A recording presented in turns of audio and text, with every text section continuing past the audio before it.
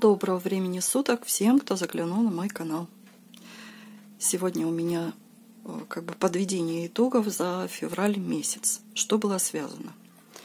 Ну, не так уж и много, хотя был один большой проект, это плед. А, также меня захватили вот такие шапочки. Шапочки получились, э, ну, мне очень нравятся. Я их решила немножко как бы не одного цвета делать, а вот здесь у меня другой цвет. Также здесь резиночка. И здесь такой цвет резиночки, только немножко. Ну, сейчас все более подробно расскажу. Шапочки не проходили еще в ТО, но я думаю, что их можно и так одевать. Ну, я, конечно, постираю. Хотя моя сестра, когда одевала шапочки, шапочку, которую я ей связала, она сказала, что не надо было мне ее стирать. Я ей говорю, постирай, она постирала, а потом говорит, не надо было мне ее стирать. Лучше бы я ее так носила. Ну, э, людям по-разному нравится. Ей понравилось, вот как выглядит нестиранная шапочка, и на голове хорошо сидит все. Ну, а когда она постирана, она уже не меняется, ничего не меняется. Она, наоборот, распушается, и э, с пряжи уходит ее пропитка – пряжа раскрывается. Но вот моей сестре, например, понравился эффект, когда пропитка не смыта. Здесь вот тоже пропитка не смыта. Но когда смоется, вы знаете, что появится пушок. И, наверное, вот это ей не понравилось. Пушок этот. Ну ничего. Она сказала, что очень нравятся эти шапочки. Кстати, я ей вязала вот такую точно шапочку. У меня оставался один моточек света. Мне подарила Светлана, связана спицами. Светлана, канал ее. Вот. И это, этот цвет я сейчас прям сразу скажу, потому что спрашивали про э, другой цвет. Это вот такой цвет. 4412. Вот. Характеристики Ализе Супервош вы уже знаете, наверное, 100 грамм 420 метров. И состав 75 шерсть и 25% полиамид. Очень хорошая пряжа, классная. Я прям сейчас многие на многие, знаете, такую фишку используют. Пишут, что вяжу по три штуки в день, по пять штук в день. И вот так и хочется сказать, что я тоже вяжу не по три, конечно, штуки в день, но э, вяжу вот шапочки захватили меня. А мне, правда, не нравится этот подход, когда видео называют там вяжу по три штуки в день, и всем моим подругам нравится. Мне это не нравится, честно скажу. Я понимаю, когда это блогеры, которые разговор, вот блогеры, которые не вяжут невязальные блогеры, они пишут, например, вот есть канал, я сейчас немножко отступлю, если э, кому-то хочется именно по вязанию, прокрутите немножко вперед. А я сейчас немножко расскажу про один канал. Э, девушка живет в Америке, вышла замуж за американца ведет канал. И вот у нее под видео стоит э, абсолютно нормальный этот, э, название видео, абсолютно нормальное. Э, то есть она пишет, что будет в этом видео. Очень удобно, когда под видео написано, э, что вы увидите. Вы уже готовы к этому. Но заставка к видео у нее идет другая. Например, вот она замужем за американцем, и она пишет. Американец разводится. Мы бежим и смотрим. Что же это, муж с ней разводится? Что же случилось? А когда в видео заходим, оказывается, что американец, но не ее муж – а просто такую историю она рассказывает, что какой-то там американец, может быть знакомый, а может незнакомый, разводится. То есть это такая ловушка, это такой ход. И я думаю, что на таких каналах, где показывается жизнь, просто болтовня какая-то идет, грубо говоря, вот там это возможно, это привлекает внимание и я считаю, что даже оправданно, это нормально там писать. Ну, э, под видео, когда видео о вязальных изделиях, люди хотят, вязаных изделиях, люди хотят видеть правду, суть того, что, э, то есть на картинке Мы должны писать то, что находится в самом деле в этом видео. Вот это такое мое мнение. Поэтому я не буду писать, что вяжу по три штуки в месяц или по пять. А, ну, хотя так оно и есть в месяц, да? Но я не буду так завлекать. Вот просто шапки меня захватили. Это более приемлемый такой вариант, когда вы пишете название. Такое, такое отступление у меня сегодня просто не потому, что высказаться хотелось. Нет, на самом деле у меня вот они шапки. Связалось три. Это, конечно, не предел, просто еще плед заканчивала. Три шапочки за месяц. И это еще не все. Начата четвертая шапочка. Осталось еще вот э, такого цвета. Осталось еще, пожалуй, на шапочку. И, э, вернее, вот наверх шапочки и низ я сделаю тоже какого-то другого цвета.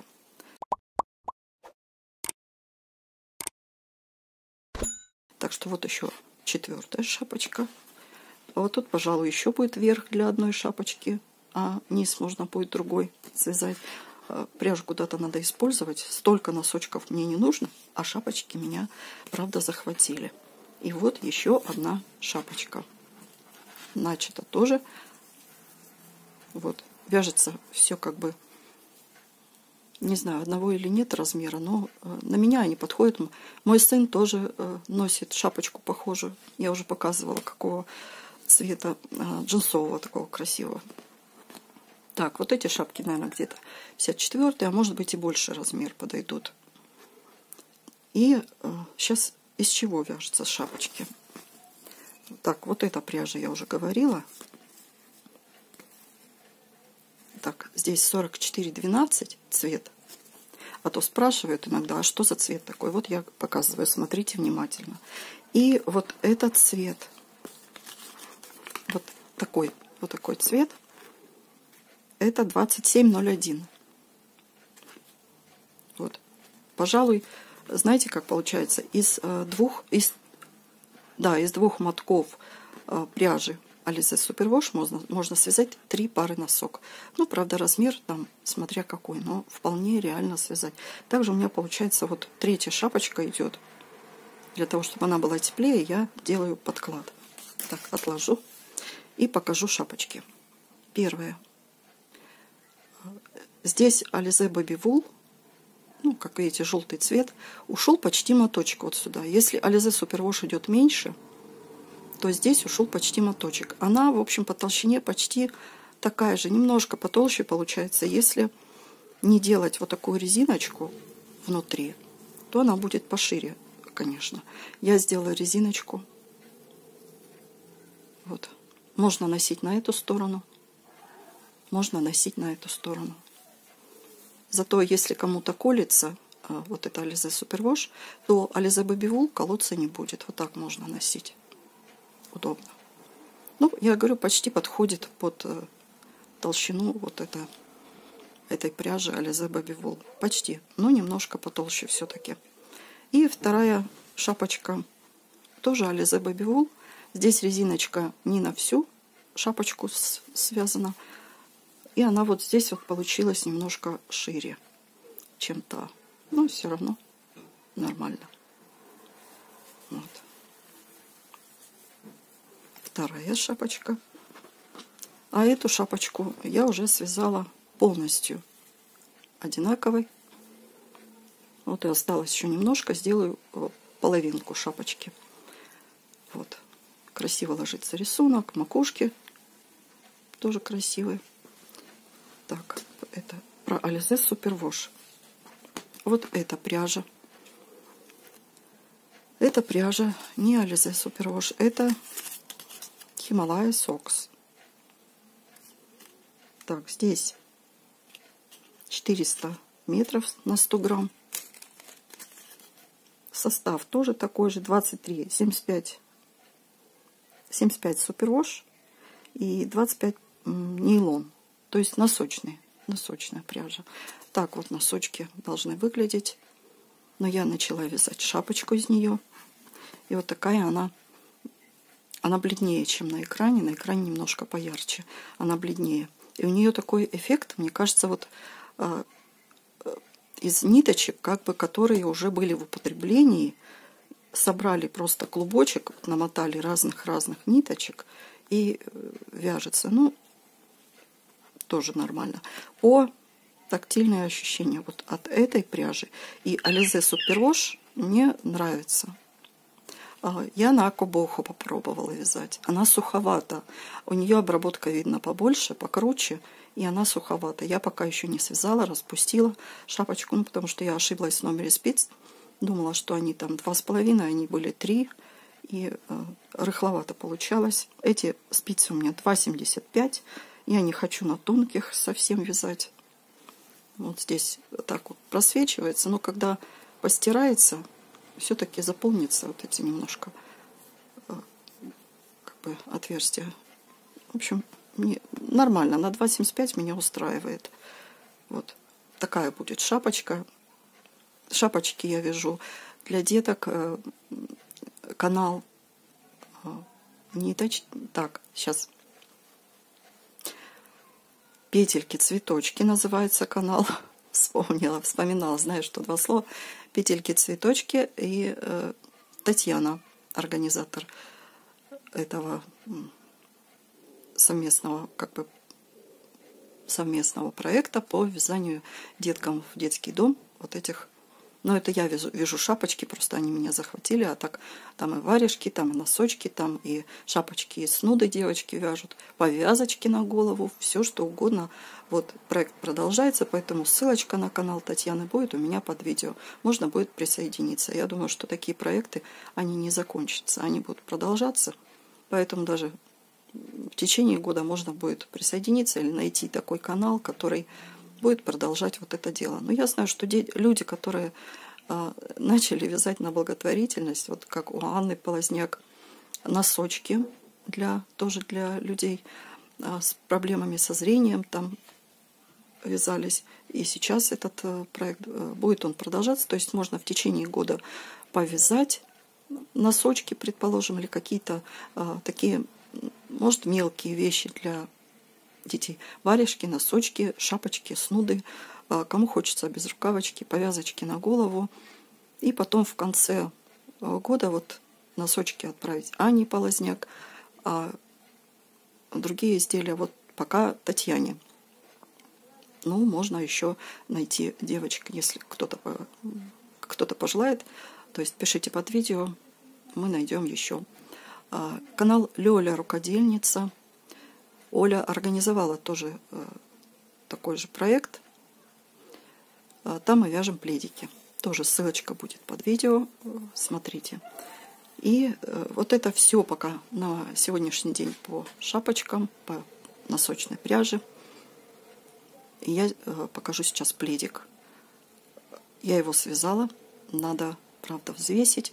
Ну, в общем, покажу пледик, хотя вы его уже видели. А, просто скажу размеры и все, все остальное. Вот этот пледик э, положила, но он свернутый, конечно. Надо будет сделать фотографию, чтобы показать, какой он в общем. Ну, вот такой. Э, так, я его постирала, э, заправила кончики. А вот, о, нашла. Пока тут переворачиваешь, находишь еще какой-то кончик. Но это хорошо, что не отправилась э, таким. Сейчас заправлю. И э, обвязала я его просто. Сначала столбики, столбики без накида, а потом уже вот такие веерочки. У меня на канале есть. Как обвязывать веерочками видео. Тоже ссылочка будет под видео. Все вроде бы.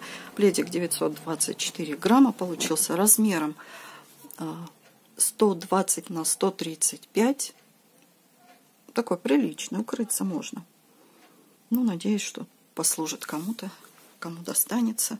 Надеюсь, порадует своего хозяина или свою хозяйку, кому достанется.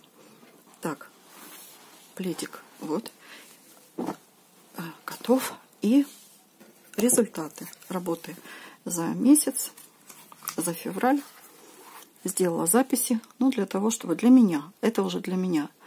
Э, январь была у меня 826 грамм израсходовано пряжи, а февраль 728. шапочки на 214 грамм вышли, и плед 514 э, вывязала. Так что у меня в среднем месяц получается вот так. Вывязываю 700-800 грамм.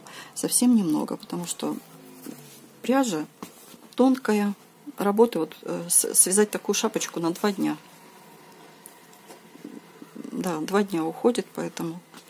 Ну, кроме этого, есть еще другие дела какие-то, не только вязание. Так что вот так сделала, связала на... Ну, что еще сказать? Думаю, что сказать. Все, на этом я закончу. И э, анонс, наверное, следующего видео, хотя я не знаю, успеет или нет, ко мне идет пряжа. На день рождения мне подарок сделала Тонечка Скрипкова.